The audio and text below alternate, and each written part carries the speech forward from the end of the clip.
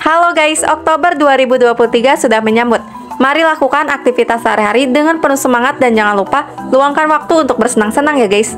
Sama seperti bulan-bulan sebelumnya, industri perfilman Korea Selatan kembali menyuguhkan berbagai serial drama Korea terbaru dengan berbagai genre, plot menarik hingga bintang ternama yang sayang untuk dilewatkan.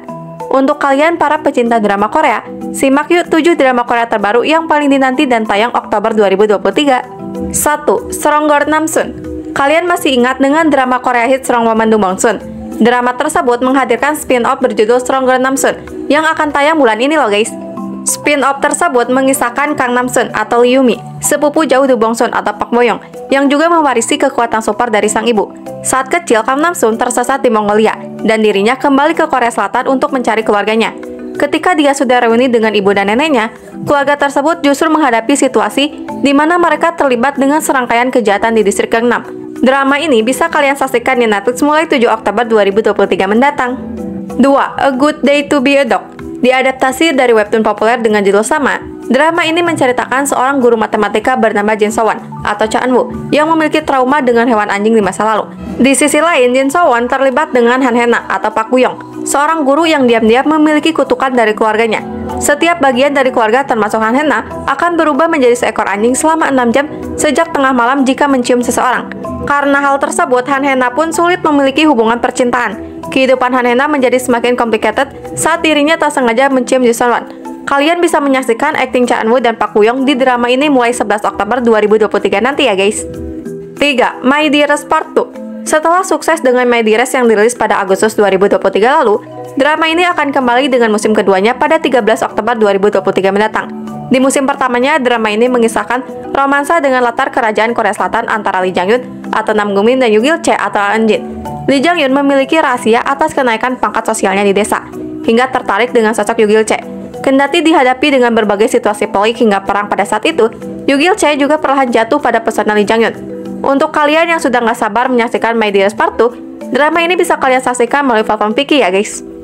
4. If Life Mengusung genre noir, drama ini mengisahkan seorang pengacara sederhana yang bertemu dengan penjahat absolut dan berubah menjadi penjahat elit. Han Dong-soo atau Shin Hak-hyuk merupakan pengacara yang berjuang untuk mendapatkan klien bahkan dengan mengunjungi orang-orang di penjara. Saudara tiri Han Dong-soo yakni Han Bon-jae atau Shin Jae-ha yang bekerja sebagai penjual komputer bekas juga bertindak sebagai perantara kasus untuknya dan membantu Han Dong-soo menemukan klien. Han Dong-soo yang selalu bertindak rasional pun suatu hari terlibat dengan mantan pemain baseball bernama So Do-young atau Kim Yong Kwang yang juga merupakan tangan kanan di organisasi kejahatan besar. Terlepas dari penampilannya yang tampan, Sodoyong memiliki sisi kejam dan jahat, yang segera memicu sisi tidak rasional dalam diri Han Dong-soo. Drama ini bisa mulai kalian saksikan pada 14 Oktober 2023. 5. Duna Drama ini mengisahkan Lee Duna atau Besuji, mantan anggota grup idol yang dulunya menjadi anggota paling populer. Namun, dia memutuskan untuk pensiun dan menetap di sebuah rumah sewa yang berdekatan dengan universitas. Di sisi lain, Won Jun atau Yang Sejong merupakan mahasiswa yang hangat, serta sosok biasa yang tak memiliki latar belakang istimewa. Won Jun pun menempati rumah sewa yang juga ditinggali oleh Lee Duna, hingga keduanya yang saling bertemu dan mulai dekat. Menariknya, Lee Duna justru meminta Won Jun untuk tidak tertarik padanya. Wah, kira-kira kenapa ya guys? Kalian harus sedikit bersabar karena Duna baru akan tayang di Netflix pada 20 Oktober 2023. Nantikan aja ya guys. 6. Moon in the Day merupakan drama romantis fantasi dengan unsur sagek yang wajib kalian masukkan dalam daftar tontonan di Oktober 2023 ini.